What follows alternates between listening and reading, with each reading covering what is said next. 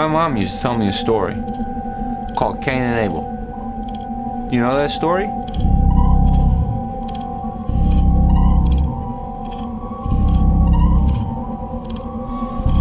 So where's Gracie? I have a condition. I can remember everything that happened to me every single day of my life, down to the last detail. It's like a movie that plays over and over and over again in my head and will not shut off. Damn, that could drive you nuts. He wants everything you have. He wants to take it away from you. All of it. Everything. Let me worry about my brother.